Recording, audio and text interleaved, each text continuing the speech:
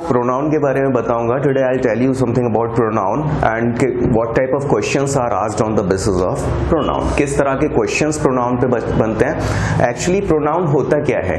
Pronoun is a word used in place of noun to avoid the repetition of the word हम pronoun को noun की जगह पर स्थान पर यूज़ करते हैं जिससे कि वर्ड्स का रिपीटेशन बार बार ना हो। फॉर एग्ज़ाम्पल अगर मैं देखूँ यहाँ पे, जैसे मैं कहता हूँ Amit is my friend. Okay? And Amit is going to market.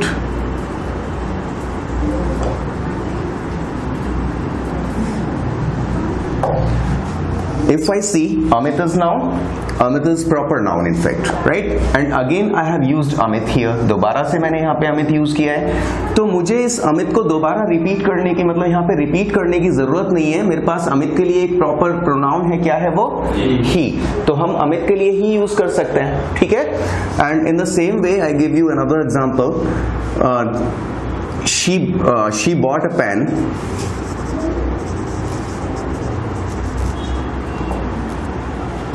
and the pen is very costly यहाँ मैंने पेन से पहले ए का यूज़ किया, यहाँ मैंने पेन से पहले दा का यूज़ किया। दा क्यों किया? क्योंकि ये डेफिनेट हो गया। इनडेफिनेट आर्टिकल किसी नाउन से पहले इज़्ज़त तब आता है, जब हम उसे फ़र्स्ट टाइम इंट्रोड्यूस करते हैं राइट जब उसका ज़िक्र पहली बार होता है। एंड जब वो, अब ये निश्चित हो गया। शी बॉट अ पेन उसने एक पेन खरीदा and the pen is very costly अब ये द पेन क्यों हो गया? क्योंकि ये ऑलरेडी डिस्कशन में है राइट ये पहले से मेंशन किया हुआ है, इसलिए ये डेफिनेट पेन हो गया। कौन से पेन की बात कर रहे हैं हम? इस पेन की। की that's why I have use here the pen right और अगर इस द पेन को ना यूज़ करके मेरे पास और भी कुछ ऑप्शन है इसके लिए? I have another option that is, she bought a pen and it is very costly. हम इसको भी यूज़ कर सकते हैं और इट को भी यूज़ कर सकते हैं। तो इट क्या हो गया? प्रोनाउन ठीक है? He has bought a house and is living in the same. उसने एक घर खरीदा है और वो उसी में रह रहा है, ठीक है? तो आपने देखा a house this is a noun right ये नाउन है और इसमें द सेम किसके लिए यूज़ हुआ है? हाउस के लिए। सो so, इसमें मैं द सेम को ना यूज़ करके, मेरे पास नॉन लिविंग थिंग के लिए क्या होता है? It and is living in it तो द सेम का यूज़ भी प्रोनाउन की तरह से सही नहीं होता। तो इसलिए हमने द सेम को हटा के हमने किसका यूज़ कर दिया? इट का यूज़ कर दिया। तो वो वर्ड्स जो नाउन की जगह पर यूज़ होते हैं दे आर कॉल्ड प्रोनाउंस और क्यों करते हैं हम इनको? जिससे प्रोनाउन को रिपीट ना करना पड़े। ठीक है? Is it clear? Actually, that uh, deteriorates or spoils the beauty of the sentence. In fact, in other words, if I say, अजीब लगता है बार बार उसको हम रिपीट करते हैं। तो ये प्रोनाउन का डेफिनेशन हुआ if you want you can jot down pronoun is a word use in place of noun pronoun is a word use in place of a noun to avoid the repetition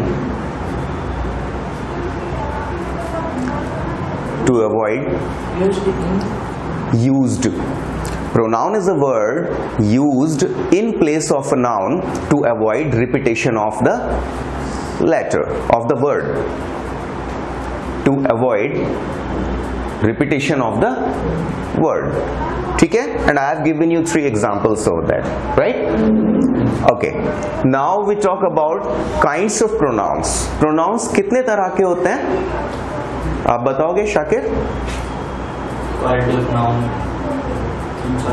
Okay okay let me tell you sure. ठीक है? And third person के pronouns में he she it ये आपके singular होते हैं। ठीक है? एंड दे आपका प्लूरल होता है। Is it clear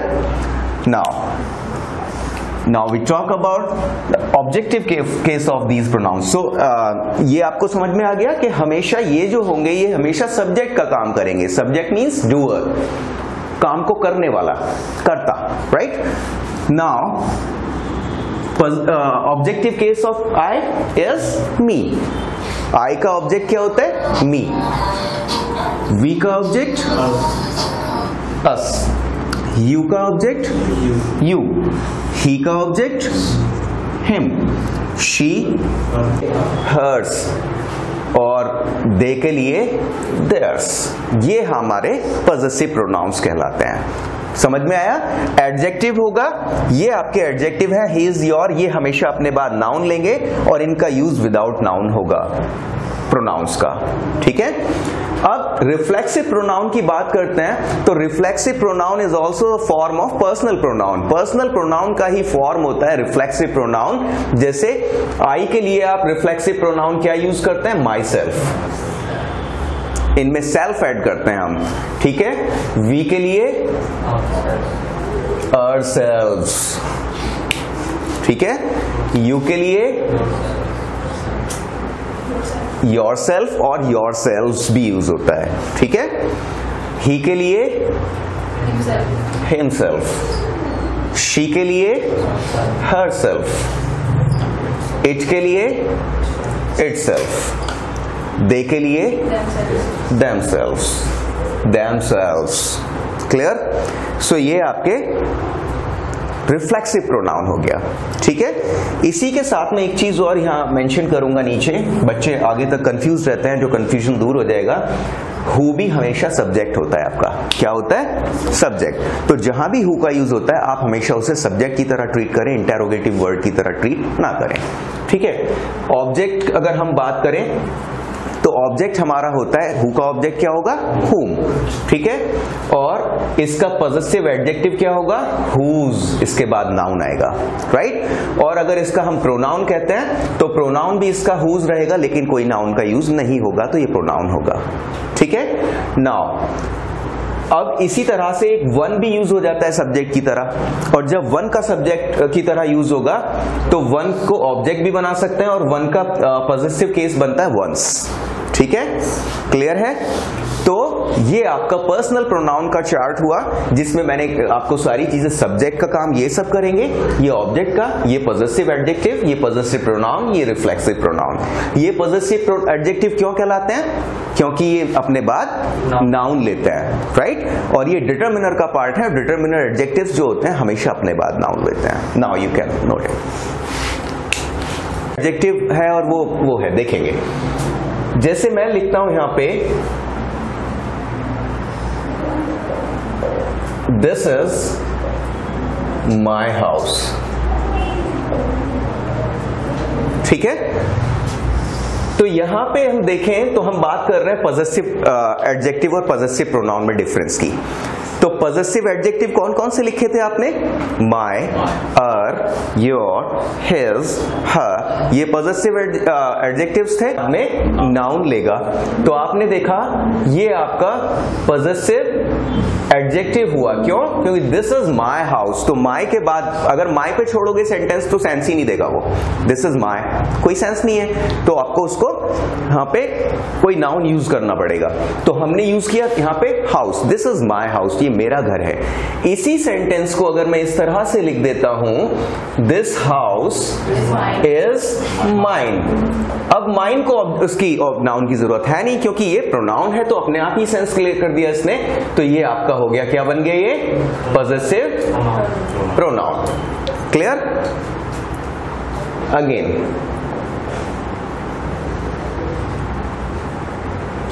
our country is great see our and country country noun our positive adjective why because There is a noun after that positive adjective बिना नाउन के use ही नहीं होंगे they can not be use without noun they will always take noun after that right on the other hand if I talk about positive pronoun that will never take a noun after it right Earth is a great country. Earth without noun. What is this? What is the difference? Er, Earth. This is possessive pronoun. Difference clear है तो जितने भी pronounce और adjectives में यहाँ difference में बताऊँगा तो प्रोनाउंस अपने बाद नाउन नहीं लेंगे एडजेक्टिव्स अपने बाद नाउन लेंगे क्योंकि कई बार कई बार क्या क्या होता है कि मोस्ट ऑफ़ द जो प्रोनाउंस होते हैं वो एडजेक्टिव भी होते हैं ठीक है? तो जो एडजेक्टिव और प्रोनाउन में डिफरेंस ये है कि वो अपने एडजेक्टिव्स अपने बाद नाउन लेंगे, लेकिन प्रोनाउंस अपने बाद नाउन नहीं लेंगे। अब डेमोन्स्ट्रेटिव का एग्ज़ाम्पल लेते हैं हम। Again this is my pen, right? If i see this this is demonstrating to pen, this pen को demonstrate कर रहा है, लेकिन this के साथ में कोई noun नहीं है तो ये है आपका डेमोन्स्ट्रेटिव प्रोनाउन ठीक है? और इस सेंटेंस को मैं कुछ इस तरह से लिखूं this pen is mine now you see the difference we use this without see नीचे देख this has been used here without noun so it is functioning as a demonstrative pronoun. Now here we have used pan after this. It means it is functioning as an adjective right? So demonstrative adjective. Clear?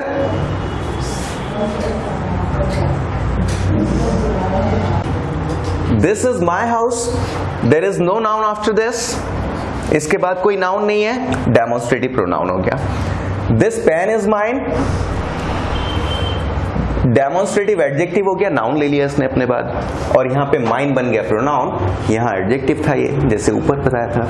Right now that is her house now see that without noun, demonstrative pronoun. That house is hers. Come, come, come.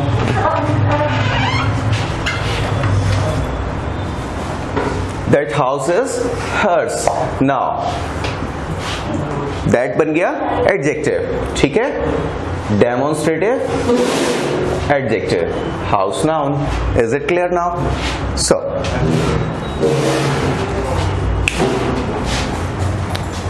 Third,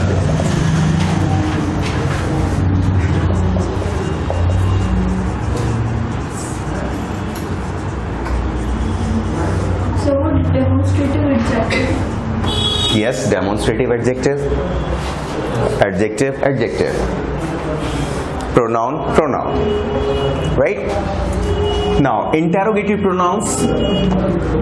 What are interrog interrogative pronouns? Which are used to ask questions right जिनको question करने के लिए use किया जाता है they are called interrogative pronouns for example who whom whose which which what no where adverb है interrogative adverb of place right? ठीक है? इसलिए हमने और नहीं लिखा इसमें। तो ये आपके इंटेरोगेटिव प्रोनाउंस कहलाते हैं। ठीक है? सो इंटेरोगेटिव प्रोनाउंस आपके, जब when these pronouns are used to ask questions they are called interrogative pronouns right when these nouns are these pronouns are used to show relation और to join the two sentences in that case they are called relative pronouns right for example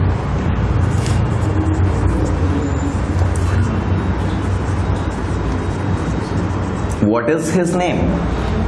Asking question? Yes. so it is interrogative pronoun right?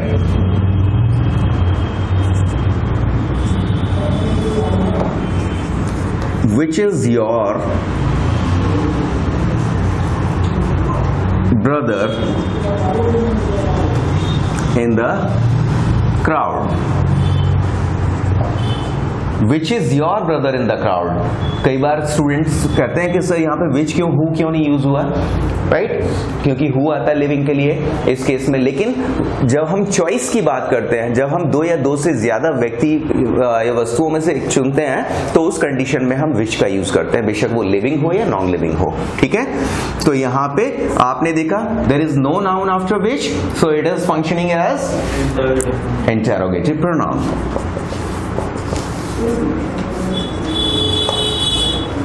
ठीक है now see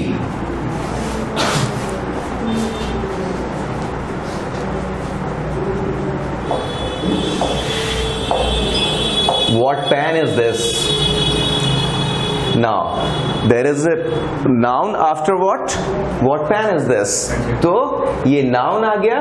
सो so, ये क्या बन गया? अब interrogative adjective clear है difference सभी में ये हो रहा है अभी तक?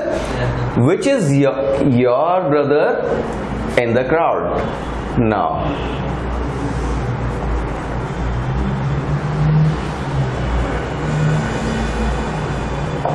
Which book are you reading? Have you observed the difference? Here there is a noun after which? Interrogative pronoun. Interrogative adjective. Clear? Next. Uh, You can do it if you want. Hmm. Example.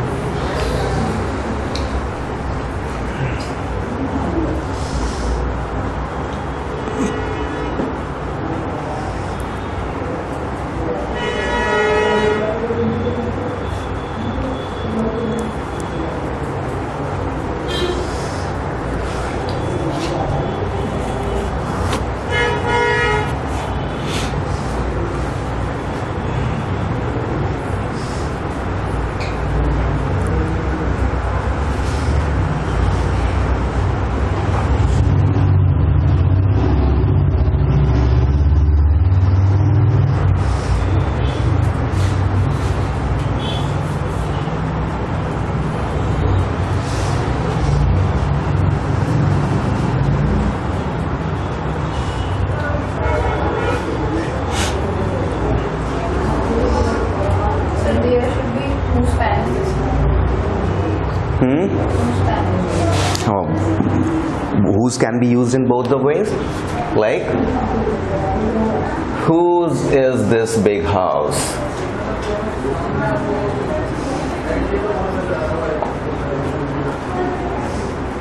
Interrogative pronoun. Whose pen is this? Adjective.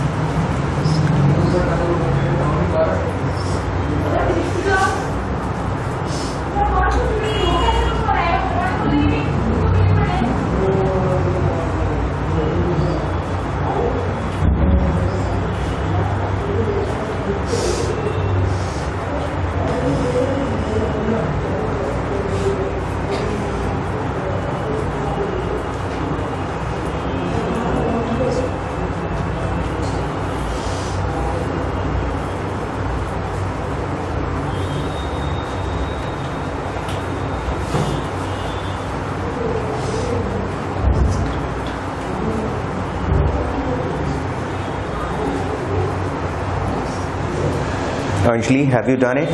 Yes, sir. Okay.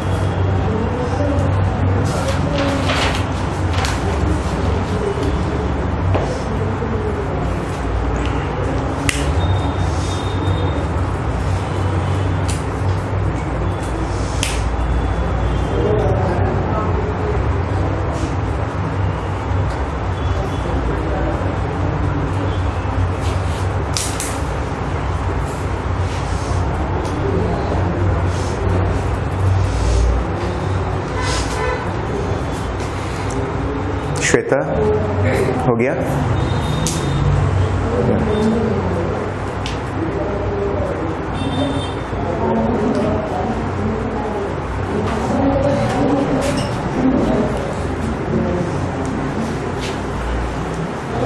So interrogative pronounce किस लिए use होता है? Question करने के लिए, ठीक है? Yes. Now,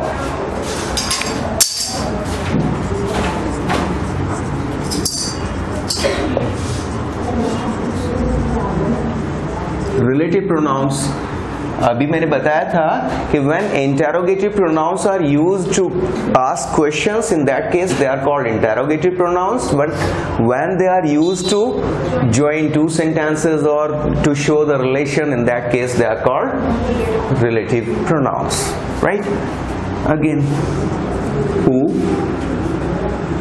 whom whose which what that as. These are relative pronouns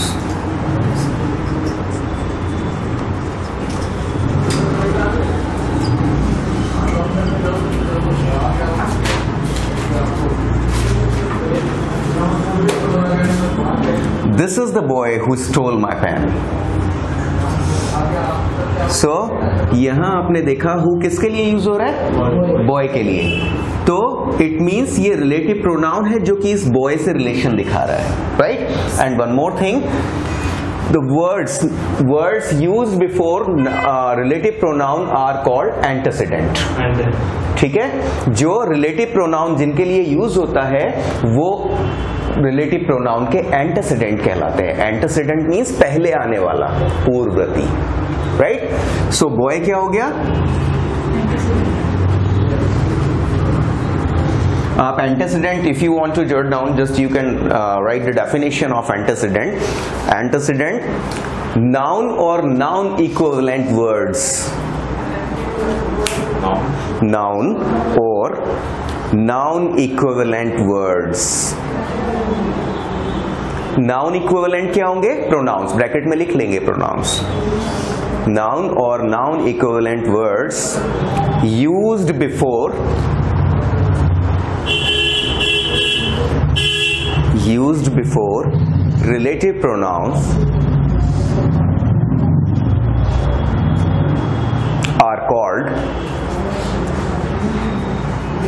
antecedent. So, आपने देखा हु किसके लिए यूज़ हुआ? बॉय के लिए. तो बॉय इसका एंटेसिडेंट है, ठीक है? जो कि एक नाउन है राइट और ये इसके साथ रिलेशन दिखाते हैं.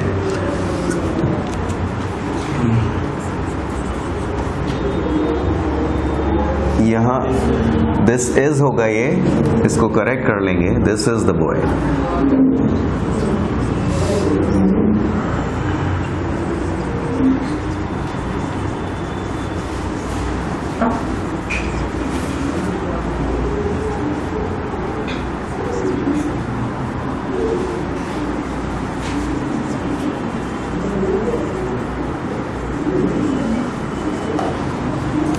this is the road that leads to my destination ठीक है? तो दैट किसके लिए यूज़ हुआ? रोड के लिए. Right so it means that ने रिलेशन दिखाया रोड के साथ और ये रोड इसका क्या हो गया? एंटेसिडेंट इज़ इट क्लियर पहले आने वाला, जिसके लिए रिलेटिव प्रोनाउंस यूज़ होता है।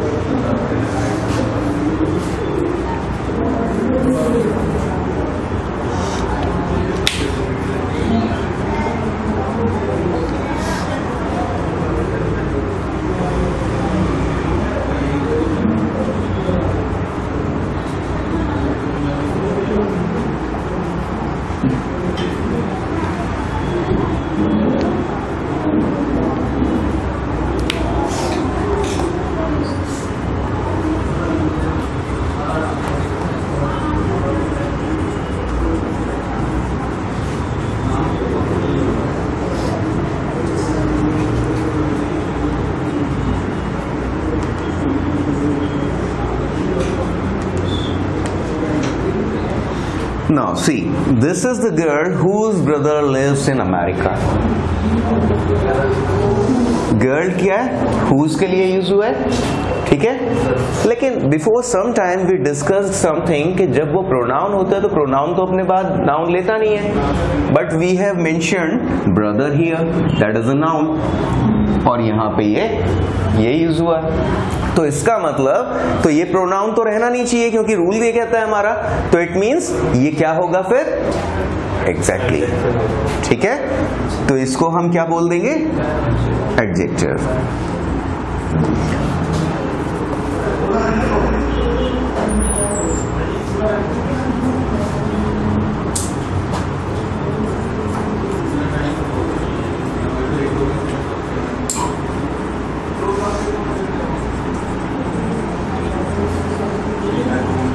This is the girl whose is a big house.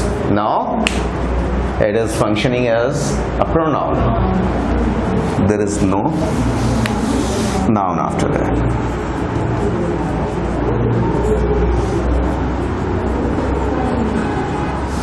Clear? Next.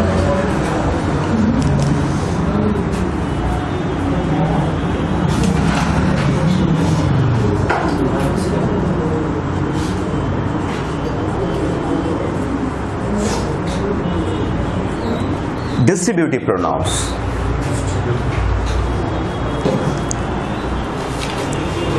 distribute से ही पता चलता है कि जो हाँ.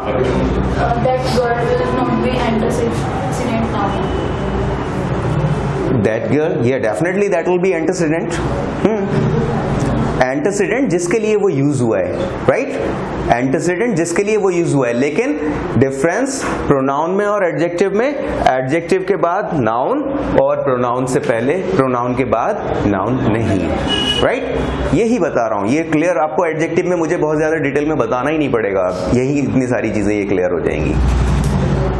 नेक्स्ट अब आपको इसके साथ साथ एडजेक्टिव्स भी पता चल रहे हैं। ये एडजेक्टिव्स भी होते हैं, ठीक है? Now distributive pronouns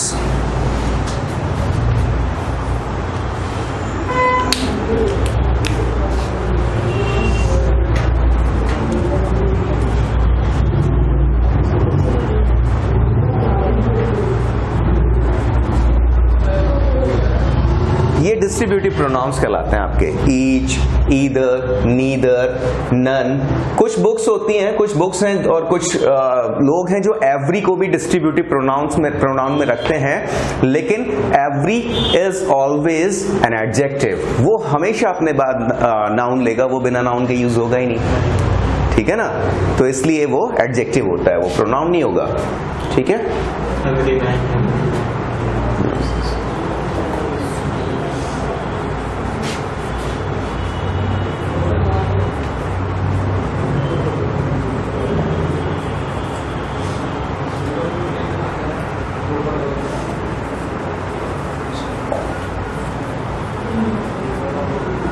See either of the two girls actually either neither and either neither ये दो के लिए यूज़ होता है इनफैक्ट ठीक है ईदर पॉजिटिव सेंस देता है दो में से या ये या ये नीदर गिव्स नेगेटिव सेंस ना ये ना ये right so either of the two girls is going there now you see there is no noun after either right so it is distributive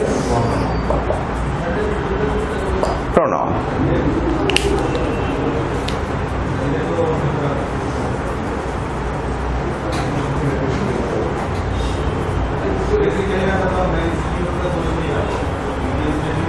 You can take either book. Now this is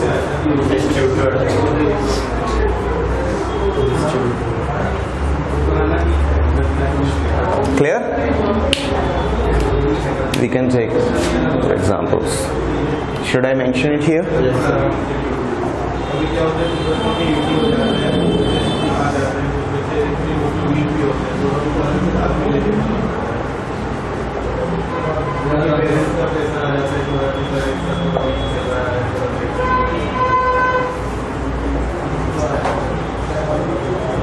Neither of the two brothers is helping me. Right? See. Distributive. Pronoun. Four.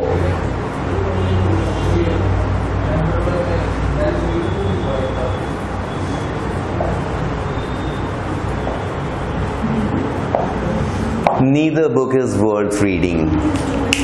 Adjective